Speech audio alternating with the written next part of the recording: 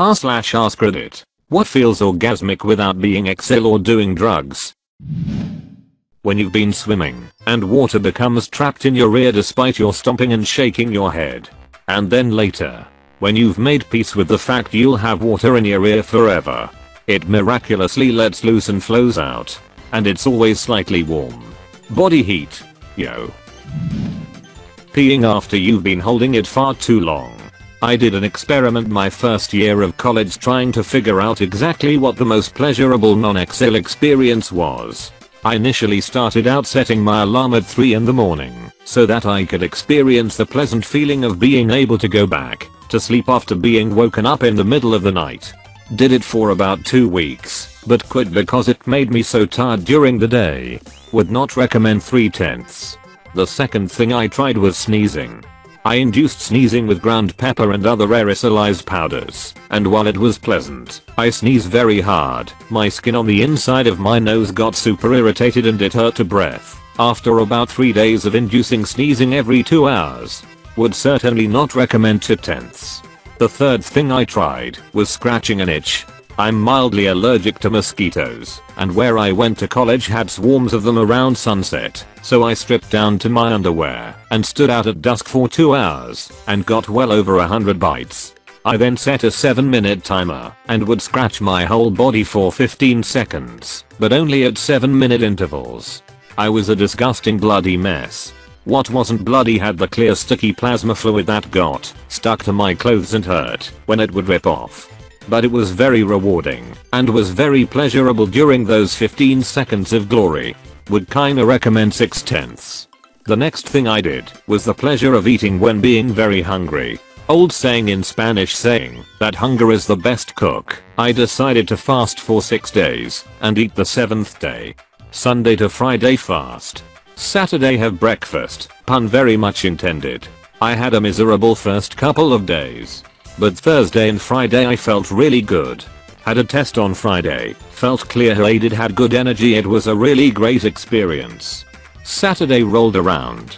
I went to the cafe got a big plate of french toast, tater tots the works, and sat down to eat. It was remarkable unsatisfactory. Didn't feel all that hungry. The food taste was overwhelmingly sweet. And maybe 4 or 5 bites and I felt so full. It was a great experience to fast, but did not provide a pleasurable sensation. Would not recommend to pleasure speakers, but it was a surreal experience. So 7 tenths. Two weeks after I attempted to do the exact opposite. The pleasure of voiding, after having a lot in the bowel. I'm a vegetarian, so I usually consume a lot of fiber, but noted that, when the stool was a little firmer I really enjoyed pooping so I decided to hold my head for as long as possible and consume very little fiber. I went without pooping for 4 days, and what followed has had to have been one of the most painful experiences of my life. I sat on the toilet for well over an hour just pushing what seemed to be a giant rock hard megaphone seemingly getting wider the more I pushed. I thought just crowning was bad. But the worst was after an inch pushed out my sphincter couldn't close again and it remained stretched out for the remainder of the log. It felt like I had a burning hot metal rod up my ass. After some research I learned it's called the ring of fire. I did learn the most effective way of pushing out solids is to bend over so your chest is on your knees and begin to push while righting your back up straight. It winches the it out. One painful ducking millimeter at a time. Would not wish on my worst enemy. This one was really bad 0 tenths. The last one was the pleasure of peeing after holding it in. I remember as a child having the most pleasant dealings after a long car ride or when I peed myself.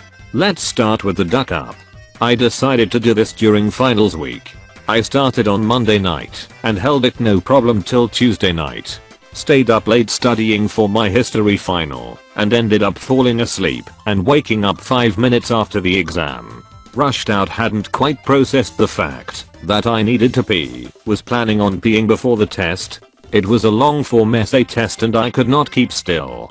No amount of moving, fidgeting, and grinding down on my pen could distract me from the fact that I needed to pee. About 30 minutes in I waddled to the teacher and begged her to let me go to the bathroom, but she refused saying I could be cheating.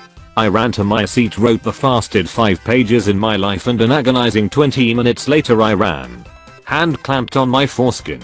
The 200 feet to the bathroom and in the half a second it took to let go of my foreskin and pull down my pants. Started pissing all over the place, but managed to aim and reach the urinal the final 10 feet of shuffling with my pant around my ankles. I nearly melted on the floor the feeling was beyond orgasmic.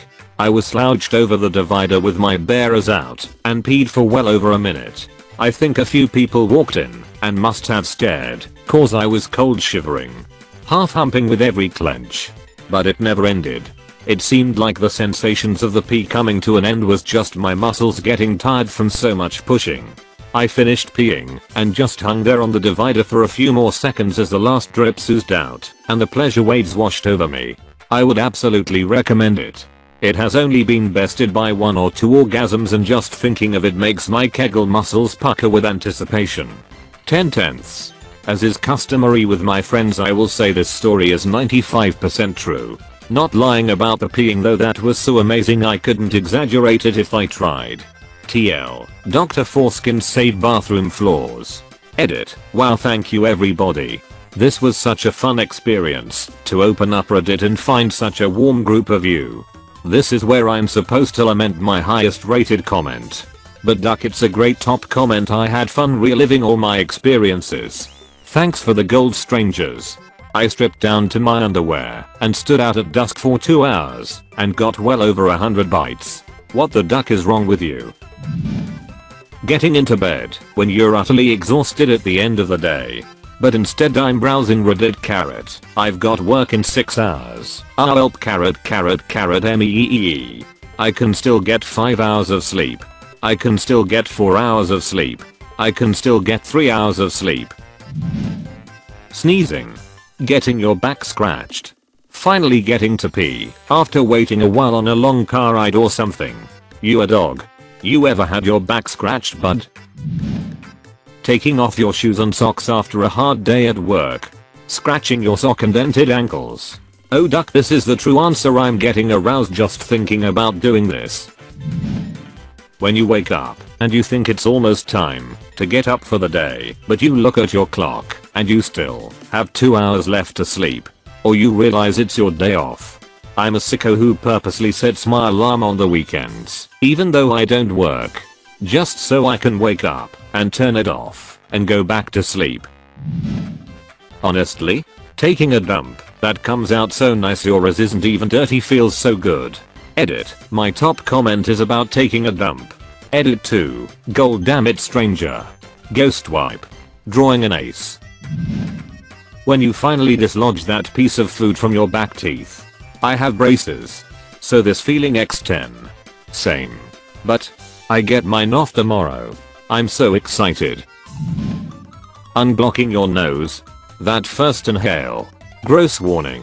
Even better is pulling out a mass of dry and semi-dry mucus that instantly provides relief and a clear airway. It's one of the most rewarding feelings in life. Dude. The duckers that feel like they are attached to your brain. You pull them out and unblock a 6 lane roadway and can breathe like if you are on a cool countryside. When the scissors glide as you're cutting a piece of paper. I could hear the noise. I could hear the noise. Woo shhhhhhh. Hot shower after a few days without one. One of my best showers was after camping through Mongolia for 12 days. We had a couple campsites with cold water. It was cold pretty cold too despite being the summer and it just wasn't worth it.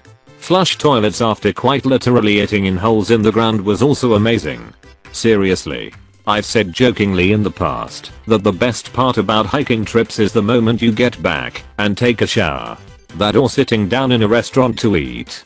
I've got so many great memories about having several day hiking trips and then immediately all going out together in some lodge in the nearest town and ordering real food. It feels almost surreal. It's amazing how being out in the wilderness for longer than just a few days can make coming back to civilization feel. Being out there is amazing too though. I'm just focusing on this particular aspect. Clean sheets right out of the dryer. Clean sheets. Clean PJs. And going to bed after getting out of the shower. When you're carrying something heavy for a long period of time and finally get to set it down. Edit. I love all the different interpretations of this. Really shows all walks of life. Keep being you. My team in CS. Interesting how CS can stand for either Counter-Strike or computer science.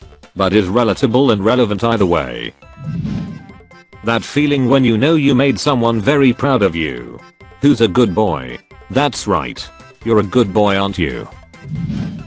Finally letting loose with that massive crap that's been yelling at you all afternoon. In high school I walked into the bathroom and smelt a horrid smell. I walked over to the stall and there is the biggest it I've ever seen. It was a football. It covered 4 tiles and was solid. I couldn't believe my eyes whoever took this. It must have almost passed out from birthing that sucker.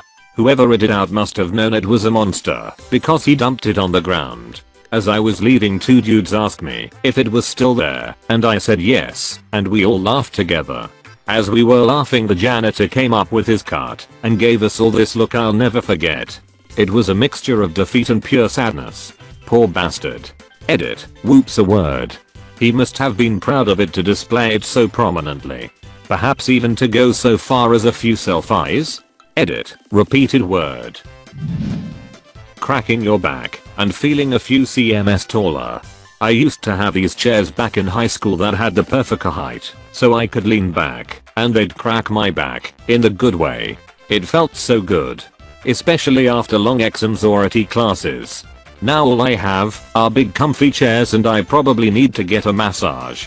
I bet you're talking about those desks with the chairs attached to them. I love those desks. Perfectly cracked Milo lower mid back. HNNGGG.